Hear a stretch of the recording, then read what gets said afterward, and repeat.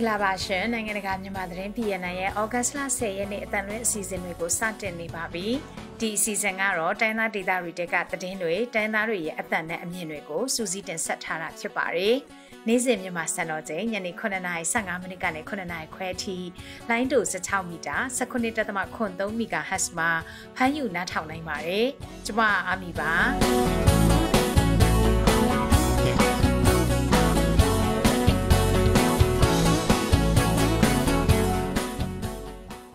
ဒီနေ့သတင်းတွေထဲမှာတော့ချင်းပြည်တောင်ပိုင်းပလက်ဝမှာမိုးရွာသွန်းမှုတွေကြောင့်ဘော်ရာဆောင်အပါအဝင်အိမ်ဆက်၅လုံးပျက်စီးခဲ့ရပါတယ်။ ဒီရက်ပိုင်းမှာဖြစ်ခဲ့တဲ့စခန်းသိမ်းတိုက်ပွဲတွေကြောင့်ဖကတ်မြို့နယ်ကဒေသခံ1900ကျော်ဟာနီးစပ်ရာဘုံကြီးကျောင်းတွေမှာထွက်ပြေးတိမ်းရှောင်နေရပါတယ်။သတင်းလွှာတွေထဲမှာတော့ကရားဂရီနီပြည်နယ်လွိုက်ကော်မှာစစ်ကောင်စီတပ်ကဘာလို့စစ်ဆေးမှုတွေတင်းကျပ်လာခဲ့တာလဲ။ပိုးပြည်သူစစ်အဖွဲ့ရဲ့အခွန်ကောက်ခံနေတဲ့အကြောင်းသတင်းပေးပို့ချက်နဲ့မွန်ပြည်နယ်အတွင်းလက်စစ်မီပြတ်တောက်မှုတွေကဘလို့အကျိုးဆက်တွေဖြစ်စေတယ်လဲဆိုတာတွေကိုစူးစီးထားပါတယ်။အခုတော့သတင်းတွေကိုကျွန်မနဲ့အတူဆိုင်းမိန်ကနေတင်ဆက်သွားမှာပါ။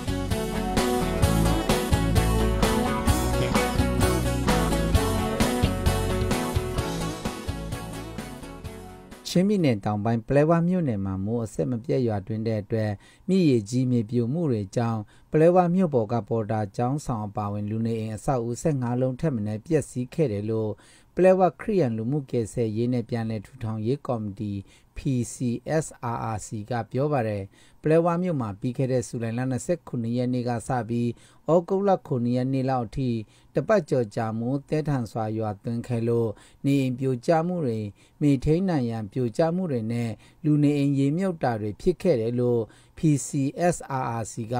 ဩဂုတ်လ9ရက်နေ့ကထုတ်ပြန်ပါတယ်ရေတိုက်စားမှုကာကွယ်နိုင်ရေးဆောက်လုပ်ထားတဲ့မြေထိန်နိုင်ရန်ခြံစည်းရိုးပြိုကျမှုအပါအဝင်မိုးရွာသွန်းမှုတွေကြောင့် မြေပြိုပြီလို့ပြင်ထောင်အိမ်တွေဝါးအိမ်တွေပျက်စီးမှုကာလတန်ဖိုးကြက်သိန်းပေါင်း800ကျော်ခန့်ရှိမယ်လို့ဆိုပါတယ်တပတ်ကျော်ကြာမိုးရွာသွန်းမှုကြောင့်ကလတာမြင့်ရည်ပေ40ကျော်ခန့်မြင့်တက်လာခဲ့တာပါမိုးများပြီးမြေပြိုမှုတွေနဲ့ကရတာမြစ်ရည်ကြီးမှုတွေကြောင့်ပျက်စီးသွားတဲ့နေအိမ်တွေနဲ့အတူမြေထိန်နိုင်ရန်တွေပြန်လည်ပြုပြင်ထိန်းသိမ်းနိုင်ဖို့အတွက်ကူညီထောက်ပံ့ပေးကြဖို့လဲပလဲဝခရီးယန်လူမှုကယ်ဆယ်ရေးနဲ့ပြန်လည်ထူထောင်ရေးကော်မတီကတောင်းဆိုထားပါတယ် ကချင်ပြည်ဖကတ်မြို့နယ်ကတိုင်းတောင်စစ်ကောင်စီရဲ့စခန်းကို KIA နဲ့ PDF ပူးပေါင်းတပ်ဖွဲ့တွေကတိုက်ခိုက်သိမ်းပိုက်ပြီးတဲ့နောက်တိုက်ပွဲတွေဖြစ်ပွားနေတဲ့အတွက်နတ်မော်နဲ့မော်ကလင်ဒေသခံ1900ကျော်ဟာနီးစပ်ရာဘုံကြီးကျောင်းတွေမှာထွက်ပြေးတိမ်းရှောင်နေကြရပါတယ်။စစ်ဘေးရှောင်တွေကိုကူညီပေးနေသူတွေရဲ့စီးရင်တွေအရတော့နတ်မော်ရွာမော်ကလင်ရွာနှစ်ရွာကအိမ်ထောင်စု380စုရှိပြီးအမျိုးသား1800ယောက်နဲ့အမျိုးသမီး942ယောက်ဟာမော်ရှန်ရွာဖုံးတော်ကြီးကျောင်းမှာခိုလုံနေနေကြရပါတယ်စစ်ဘေးရှောင်တွေဟာဩဂတ်လ9ရက်နေ့ကစပြီးတော့ပြေးလာတာဖြစ်ပြီးဩဂတ်လ10ရက်နေ့မှာတရွာလုံးနှီးပါတိမ်းရှောင်ခဲ့ကြရပါတယ်ဩဂတ်လ9ရက်နေ့မနက်ပိုင်းမှာစစ်ကောင်စီရဲ့ကတိုင်းတောင်စခန်းကို KIA နဲ့ PDF တပ်တွေကသိမ်းပိုက်ပြီးတဲ့နောက်ဩဂတ်လ10ရက်နေ့မှာစစ်တပ်ကစခန်းပြန်ရဖို့တိုက်ခိုက်မှုတွေပြုလုပ်ခဲ့တယ်လို့ဆိုကြပါတယ်ကတိုင်းတောင်တိုက်ပွဲမှာစစ်ကောင်စီတပ်ကအရာရှိတယောက်နဲ့သူမိသားစုတွေဖမ်းဆီးခံခဲ့ရပြီးတပ်သား9ယောက်တေဆုံးခဲ့တယ်လို့ဆိုပါတယ်ကချင်ပြည်နယ်မိုးညင်းမြို့စုပေါင်းရုံးရှိမိုးညင်းပန်းချံကနေစစ်ကောင်စီတပ်ကထန်းတပင်ကျေးရွာဘက်ကိုလက်နက်ကြီးတွေနဲ့ ဒီမနက်10:22မိနစ်ကနေစတင်ပစ်ခတ်ခဲ့တယ်လို့မွန်ကြီးမြို့ဒေသခံတွေပြောပြချက်အရသိရပါတယ်စစ်ကောင်စီတပ်ပကလက်နက်ကြီးအချက်ပေါင်း15ချက်ထက်မနည်းထန်းတပင်ကျေးရွာတွေဘက်ကိုတစ်ဖက်သက်လမ်းပစ်ခဲ့တာဖြစ်ပြီးနိုင်ဝက်ခန့်အကြာမှာရက်နာသွားခဲ့တာဖြစ်ပါတယ်စစ်ကောင်စီဘက်ကလက်နက်ကြီးတွေနဲ့တစ်ဖက်သက်ပစ်ခတ်ခဲ့တာဟာဒေါ်လာရေးရင်အစုတွေကထန်းတပင်ကျေးရွာတွေဘယ်ရောက်ရှိတာကို တည်င်းရထားတာကြောင့်လို့မိုးညင်းမြုပ်ခံတို့ကပြောပါတယ်ပြီးခဲ့တဲ့ဇူလိုင်လ23ရက်နေ့မှာမိုးညင်း KPDF တပ်ဖွဲ့ကမိုးညင်းမြုပ်ဆောင်လမ်းမပေါ်စီရေးပြတီရုပ်တံတစ်ခုဖြန့်ချီပြီးတဲ့နောက်စစ်ကောင်စီတပ်ကလက်နက်ကြီးတွေနဲ့မိုးညင်းမြုပ်အရှိတ်ဘက်ကိုပစ်ခတ်မှုတွေပြုလုပ်ခဲ့တာလို့သိရပါတယ်။ ရှမ်းပြည်လဲချားမြို့နယ်မှာစစ်ကောင်စီတပ်ကစစ်အင်အားဇက်တိုက်တိုးချဲ့နေတဲ့အပြင်ပြည်သူစစ်တပ်ဖွဲ့တပ်ဖွဲ့ကိုတပ်သားအင်အားတရာပါဝင်ပေးဖို့လဲတောင်းယူနေတယ်လို့ဆိုကြပါတယ်စစ်ကောင်စီတပ်နဲ့ရှမ်းပြည်တိုးတက်ရေးပါတီရှမ်းပြည်တပ်မတော် SSPP SSA တို့တိုက်ပွဲဖြစ်ပွားပြီးနောက်ပိုင်းလဲချားမြို့နယ်မှာအခုလိုမျိုးစစ်အင်အားဖြည့်တင်းနေတာပါလဲချားမြို့နယ်မှာစစ်ကောင်စီတပ်ဖွဲ့ဘက်ကနေလက်ရှိပါဝင်လာတဲ့ပြည်သူစစ်တပ်ဖွဲ့ကတော့ပို့အမျိုးသားအဖွဲ့ PNO အပါအဝင် S3 လုံးမဟာဂျာပြည်သူစစ်မတ်ကျန်းပြည်သူစစ်အဖွဲ့နဲ့နားရိုင်းပြည်သူစစ်အဖွဲ့တွေဖြစ်ပါတယ်။လေရှားမြို့နယ်တဲ့ဩဂတ်စ်လ6ရက်နေ့ကစပြီး SSPP SSA နဲ့စစ်ကောင်စီတပ်တို့အကြားတိုက်ပွဲပြင်းထန်ခဲ့ရာစစ်ကောင်စီဘက်ကအကြဆုံးများခဲ့ပါတယ်။လက်ရှိမှာလည်းနှစ်ဖက်တပ်ဖွဲ့အကြားစစ်ရေးတင်းမာနေပြီးတိုက်ပွဲတွေပြန်ဖြစ်မှာကိုတော့ဒေသခံတွေကစိုးရိမ်နေကြပါတယ်။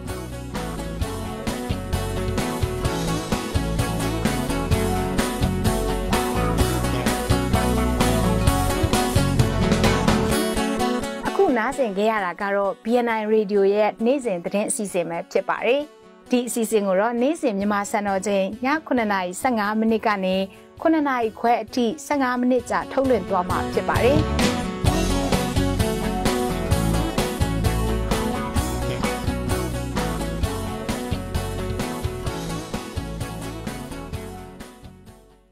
အခုဆက်ပြီးသတင်းလွှာတွေကိုတင်ဆက်ပေးသွားမှာပါ။ကရားဂရနီပြည်နယ်လွိုက်ကော်မြို့အတွင်းမှာပြီးခဲ့တဲ့ဇူလိုင်လကစပြီးတော့စစ်ကောင်စီဘက်ကအစစ်စေးပုံမတင်းကျပ်လာတယ်လို့တနက်ဖောက်ပြီးတော့၆လက်မှုတွေကိုပါပြုလုပ်နေတယ်လို့ဒေသခံတွေကပြောပါတယ်။အသေးစိတ်ကိုကနရဝတီ time ကမော်လေးမြကသတင်းပေးပို့ထားပါတယ်။လွိုင်ကော်ဒေတာခန်တယောက်ကတော့လုံချုံရေးတင်းကျပ်မှုနဲ့ပတ်သက်ပြီးကနရဝတီထိုင်းကိုခုလိုပြောပြပါဗျ။ဟုတ်ပို့ပြီးတော့တင်းကျပ်လာတာပေါ့နော်အရင်ကဆိုရင်ဒီ အမတို့လေထဲသွားရင်လည်းလေထဲမှာစစ်သားတွေမရှိတော့နော်အခုဆိုနေရတကဖြန့်ထားလေလေထဲမှာတွေကစလမ်းဘေးမှာတွေရောကိုမတိနိုင်တဲ့နေရာတွေမှာလည်းသူတို့ပုံးချိုပြီးရှိလာတော့နော်စီးဆေးလာတာပုံများလာတော့စစ်ကောင်စီရဲ့စစ်ဆေးရေးဂိတ်တွေမှာလည်းလူအင်အားပုံများလာပြီးမတေခံဘူးလို့သူတို့ထင်ရင်တနက်တွေဖောက်ပြီး၆လာတာတွေရှိတယ်လို့ဒေသခံတွေစီကနေသိရပါတယ်ဒီနေ့တော့ရေဟန်ကလာခါတော့ဒီမတ်ရစီနေခါတော့စီကတူအလူခေါ်တော့ခေါ်ခါတော့ သူကကြီးတဲ့ခါကျတော့စစ်သားအနောက်ကလက်ရှိတယ်သူအနောက်ကလက်ရှိရှိကတော့သူလိဆက်ရှိပါတယ်ရှိလို့မရှိပါဘူးစစ်ကောင်စီကအမျိုးသားတွေကိုပုံမစစ်ဆေးတာဖြစ်ပြီး ဖုန်းဆိုင်ကယ်တူးပေါက်ကားနဲ့ကားပေါ်မှာရှိတဲ့ကုန်ပစ္စည်းအထုပ်တွေကိုလည်းဖောက်ပြီးစစ်ဆေးနေတယ်လို့ဒေတာခန်တွေကပြောပါတယ်။အဲ့ဒီလိုအစစ်ဆေးပုံမတင်းကျပ်လာတဲ့အခါဒေတာခန်တွေအနေနဲ့စိတ်လုံခြုံမှုမရှိတော့တဲ့အပြင်အပြင်သွားဖို့ကြောက်လန့်နေကြရတယ်လို့ဒေတာခန်မျိုးသမီးတဦးကအခုလိုပြောပါတယ်။သူရင်မှုကတော့ပိုရှိတော့ဘဲသွားမလုံခြုံတော့လေစိတ်လုံခြုံတော့ဘဲသွားဖုန်းလည်းမြူသွားရတော့ ဟိုဘက်သွားမယ်ဆိုလဲသူတို့ရှိဒီဘက်သွားမယ်ဆိုလဲသူတို့ရှိတတ်နိုင်စင်းတော့ဘယ်တင်မထွက်တော့အိမ်မှာပဲနေတော့တော့ညီမလေးဂရီနီပြည်နယ်မှာမြို့နယ်9မြို့ရှိတဲ့နဲ့လွိုင်ကော်မြို့ပေါ်ကသာစစ်ကောင်စီကထိန်းချုပ်ထားနိုင်ပေမဲ့လက်ရှိမှာလည်းမြို့ပြည်ဘက်မှာတိုက်ပွဲတွေဖြစ်ပွားနေပါတယ်စစ်ကောင်စီအာဏာသိမ်းပြီးနောက်ပိုင်း Green New မှာ2023ခုနှစ်နှစ်စပိုင်းကစပြီးနှစ်ဖက်စစ်ရေးပုံမှုပြည့်ထန်လာပြီးတဲ့နောက်အစစ်အဆေးတွေကလည်းပြီးခဲ့တဲ့နှစ်တွေထက် ပိုတင်းကျပ်လာတာဖြစ်ပါတယ်။ရှမ်းပြည်တောင်ကြီးမြို့နယ်ပုံအင်းဒေသမှာနေထိုင်တဲ့ပြည်သူတွေစီကနေပို့ပြည်သူစစ် PNO တပ်ကရှေ့တန်းတပ်သားတွေအတွက်ရိတ်ခါထောက်ပံ့ကြေးဆိုပြီးတောင်းခံနေပါတယ်။အဲ့လိုမျိုးရိတ်ခါထောက်ပံ့ကြေးတွေတောင်းခံလာတာကြောင့်တချို့မတက်နိုင်တဲ့သူတွေလည်းပေးဖို့အခက်အခဲဖြစ်နေကြပါတယ်။ပုံရင်းဒေသကပြည်သူတွေဘလို့အခက်အခဲရှိနေကြလဲရိတ်ခါထောက်ပံ့ကြီးအတွက် PNO ကဘယ်နှကြိမ်ကောက်ခံပြီးပြီလဲဆိုတာကိုတော့ရှမ်းတန်တော်စင်ဝိုင်းတော်သားဆိုင်းဟန်လင်းကတင်ဆက်ထားပါတယ် ရှမ်းပြည်တောင်ကြီးမြို့နယ်ပုံအင်းဒေသမှာနေထိုင်တဲ့ပြည်သူတွေကိုပိုးပြည်သူစစ်ပြောင်းတက်ကရှေ့တန်ရောက်တတ်တာမြတ်အတွက်ရခါထောက်ပံ့ကျေးဆိုပြီးတင်ကိုကြက်ငွေ4000နဲ့12ပီထည့်ပေးဖို့ရွာတကြီးကနဲ့တဆင့်တောင်းခံနေတယ်လို့တင်ရရှိပါတယ်။ပြီးခဲ့တဲ့အောက်တိုဘာတရနေ့ကစပြီးပုံအင်းဒေတာမှာနေထိုင်တဲ့ပြည်သူတွေကိုရှေ့တရောက်တတ်တာများအတွက်ရခါထောက်ပံ့ကျေးဆိုပြီးရွာတကြီးကနေတဆင့်စတင်တောင်းခံခဲ့တာဖြစ်ပါတယ်။လက်ရှိကုန်စည်နှုန်းတွေဟာအဆက်မတန်မြင့်တက်နေတဲ့အတွက်ကြောင့် လေယာလုပ်ငန်းကိုကောင်းမွန်စွာမလုပ်နိုင်တဲ့အချိန်မှာပြန်အတပ်ဖက်ကခေါင်းစစ်အမျိုးမျိုးငွေကြေးလာရောက်ကောက်ယူမှုအပေါ်အခက်အခဲရှိနေတယ်လို့ပုံအင်းတောက်တူတူကအခုလိုပြောဆိုလိုက်ပါတယ်။အနေခံလို့လားအဲ့ဒါပေါ်ခိုင်းဆိုင်တယ်ဗျာမလေးလိုက်စံတွေဝယ်စားရတဲ့သူတွေအတွက်ကတော့အခက်ခဲရှိတာပေါ့အခုထဲဖို့ပြောလာတော့ညီးနေကြတယ်လေလဲမလုံနိုင်တော့တချို့ကထိုင်းရောက်နေတဲ့ဓာသမီကိုပဲအားကိုရတယ် ဓာသမီတွေပို့လာပေးတဲ့ပတ်စံနဲ့စံတွေဝယ်စုထားရတယ်တချို့လဲဆန်ကိုဘူးနဲ့ဝယ်စားနေတဲ့တူလဲရှိတယ်သူတို့လည်းမတက်နိုင်ဘူးထည့်ပေးရတာပေါ့အတိရက်ခါထပန်ရဲ့အတွက်အကောလာကိုရမှာနောက်ဆုံးထားပြီးရွာလိုက်ရွာတကြီးကနေတစေကြအုပ်စုကရွာတကြီးထံကိုပေးဖို့ဖို့ညွှန်ကြားခဲ့တယ်လို့၎င်းဆက်လက်ပြောဆိုထားပါတယ်။ရခင်ကပုံအင်းဒေတာမှာပိုးပီတဆွပြန်အုပ်တပ်ဖွဲ့အတွက်ရိခါထပ်ပတ်ရေးအတွက်ဆိုပြီးထည့်ပေးရတာဟာမရှိတလောက်နေပါခဲ့တယ်ဆိုပေမဲ့လည်း စစ်တပ်အနာသိမ်းပြီးနောက်ပိုင်းပိုးပြည်သူစစ်ပြောင်းတပ်ဖွဲ့ကရိခါထပ်ပံပြဖို့မကြာခဏတောင်းခတ်လာနေတယ်လို့ပုံအင်းတောက်တူတူကထလောင်ပြောပါတယ်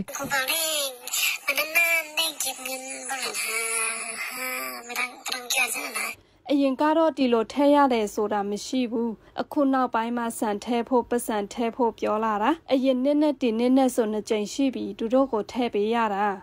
စစ်တပ်အာဏာသိမ်းပြီးနောက်ပိုင်းရှမ်းကီနီကရပြည်နယ်ဆက်ဒေသတခြားမှာဖြစ်ပွားနေတဲ့ စစ်ကောင်စီနဲ့ပြည်သူ့ကာကွယ် PDF ပူပေါတပ်ဖွဲ့တို့အကြားတိုက်ပွဲမှာပိုးပြည်သူစစ်ပြောင်းကစစ်ကောင်စီနဲ့ပူးပေါင်းပြီးတိုက်ခိုက်နေတယ်လို့သိရှိရပါတယ်။တိုက်ပွဲအတွင်းနှစ်ဖက်တပ်ဖွဲ့ထိခိုက်ဒေဆုံးမှုရှိလာတဲ့အတွက်ပိုးပြည်သူစစ်ပြောင်းတပ်ဖွဲ့ဟာ၎င်းထိရှုပ်နေမိဒေတာဖြစ်တဲ့စီဆိုင်မျိုးနဲ့ပီလောင်မျိုးနဲ့အတွင်းကဒေတာခံတွေကိုကြည်စံဖို့ရိခါထပ်ပတ်ရဲ့အတွက်ဆိုပြီးမကြာခဏတောင်းခံနေလက်ရှိတယ်လို့သိရှိရပါတယ်။ပြီးခဲ့တဲ့2020မေလ23ရက်စပြီးစီဆိုင်မြို့နယ်အတွင်းနေထိုင်တဲ့ပြည်သူတွေကို ပြန်အိုတပ်ဖက်ကအစည်းအဝေးခေါ်ယူပြီးတရင်ကိုကျပ်ငွေ3000နဲ့စန်တပီထည့်ပေးဖို့ကြေးရတစ်ခုကိုအမျိုးသားလူငယ်အယောက်20ပေးဖို့စတင်ညွှန်ကြားခဲ့တာဖြစ်ပါတယ်။ မွန်ပြည်နယ်အတွင်းမှာနွေရာသီကာလထက်လက်ရှိမိုးရင်းကာလအတွင်းလျှက်စစ်မီဆိုးရွားစွာပြတ်တောက်မှုနဲ့ကြုံနေရတယ်လို့ SME လုပ်ငန်းရှင်တွေနဲ့ဒေသခံတွေကတန်လွင်ထိုင်းကိုပြောကြပါတယ်ဒီလိုမီးပြတ်တောက်မှုကြောင့်ဘလို့အခက်အခဲတွေကြုံနေကြရတယ်လဲဆိုတာကိုတော့တန်လွင်ထိုင်းသတင်းဌာနကခရစ်စတီနာကစူစီတင်ဆက်ထားပါတယ်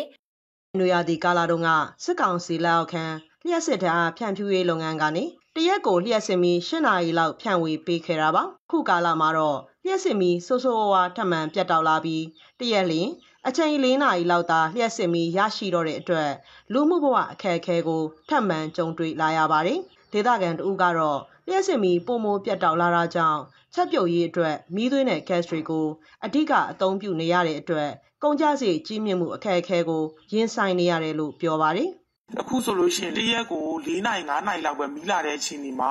ကြည့်အောင်ရုံးကန်ရတယ်ပေါ့နော်လှုပ်လှုပ်ဆောင်ရတယ်ပေါ့အရင်တော့ကဆိုလို့ရှိရင်လက်စမီနဲ့ချက်လို့ရတယ်အာလွယ်ကူတယ်ပေါ့နော်အာခလုတ်ဖွင့်လိုက်တာနဲ့မီးလာတယ်ဒါဆိုရင်မျိုးပြကနေထားမှာဆိုရင်ဒီလိုအနေထားမျိုးရှိရပေါ့အခုကျအဲ့လိုမဟုတ်ဘူးအာမီးသွေးဝယ်ရတယ်ဆိုရင်အပိုကုန်ကြစိတ်တွေထွက်လာတယ်ပြီး gas နဲ့ချက်ရတယ်ပေါ့နော်စသဖြင့်ဒီအရင်တော့လွယ်လွယ်ကူကူဖြစ်နေတဲ့ရနေတဲ့အရာကနေပြီးတော့ပိုခက်ခဲတဲ့အနေအထားမျိုးတွေကိုလည်းကြုံရတယ်ပေါ့ လျှက်စမီဆိုးဝါးစွာ ပြတ်တောက်လာတဲ့အတွက်နေ့စဉ်လူမှုဘဝမှာချက်ပြုတ်စားတောက်ဖို့ပင် အခက်အခဲရှိလာသလိုလျှက်စင်မီကိုအသုံးပြုပြီးလဲပတ်နေရတဲ့လုပ်ငန်းတွေပါထိခိုက်မှုရှိလာတယ်လို့သိရပါတယ်။ SME လုပ်ငန်းရှင်တို့ကလည်းစက်မှုစုံတွေမှာတရက်လင်လျှက်စင်မီအချိန်2နာရီလောက်သာရတော့တဲ့အတွက်လုပ်ငန်းတွေလဲပတ်ဖို့ပုံမခက်ခဲလာတယ်လို့တန်လွန်တိုင်းကိုပြောပါတယ်။ကျွန်တော်တို့ဒီစက်မှုစုံမှာဆိုတော့မီးလာ24နာရီမှာဆိုရင်2နာရီလောက်ပဲလာ ပိုပြတ်တောက်တာထက်စာရင် တချို့တချို့ရက်တွေမှာလောက်လုံးလုံးမလာဘူး။အရင်ဆိုရင် နွေရာသီတောင်မှ ကျွန်တော်တို့ မနက်ဆိုရင်9ဝက်10လောက်ကလာရင် ညနေ9လောက်ထိကို တနေကုန်လာပြီးသေးတယ်ပေါ့နော်။အခု ရှေ့လကပေါ့ဒီ9လပိုင်းမှာတော့က10နာရီ2နာရီ ပုံမှန်တော့ပေးတယ်။ ဒါပေမဲ့ ဒီ ကျွန်တော်တို့ အခု8လပိုင်းနဲ့ အဝင်မှာဆိုရင်တော့ ပိုဆိုးလာတယ် ပေးခြင်းလောက်ပေးတယ်မပြတ်ခါရကြတယ်တနေကုန်မပေးဘူး။ကျွန်တော်တို့မှာ တချို့ဆက်ကြီးဆိုရင် မီးလာမှာမောင်းလို့ရမဆက်တွေရှိတယ်ပေါ့နော်။အဲ့လိုမျိုးဟာကြတော့ မီးရနဲ့ကြတော့ အဆင်မပြေဘူး။ဟိုလုပ်ငန်းဒါနောက်နောက်နေရနောက်စီတက်စီရေးရလဲဟိုဒီကလည်း အခုဆို2500ကျော်ဒီပြလာပြီဆိုတော့ဟိုဒါကြီး အဆင်မပြေဘူးပေါ့နော်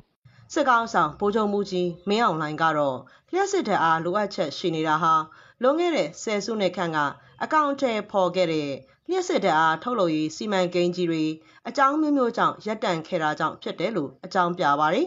လျှက်စစ်တဲ့အားလိုအပ်ချက်ကိုနေအောင်ကြီးစွန့်ရင်လေအားနဲ့ဇဘကွန်သုံးတန်းငွေလောင်စာအသုံးပြုပြီးလျှက်စစ်ထုတ်လုပ်ဖို့အကောင့်ထဲပေါ်နေတယ်လို့ပြီးခဲ့တဲ့ဩဂတ်စ်လ10ရက်နေ့က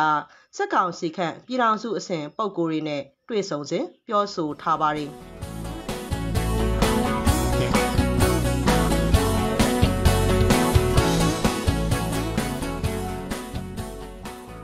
နားဆင်ခဲ့ရတာကတော့ BNI Radio ရဲ့နေ့စဉ်သတင်းအစီအစဉ်ပဲဖြစ်ပါတယ်။ဒီအစီအစဉ်ကိုတော့နေ့စဉ်မြန်မာစံတော်ချိန်ည9:15မိနစ်ကနေ9:00နာရီခွဲအထိ15မိနစ်ကြာထုတ်လွှင့်သွားမှာဖြစ်ပါတယ်။နားဆင်ပေးကြတဲ့အတွက်ကျေးဇူးတင်ပါတယ်ရှင်။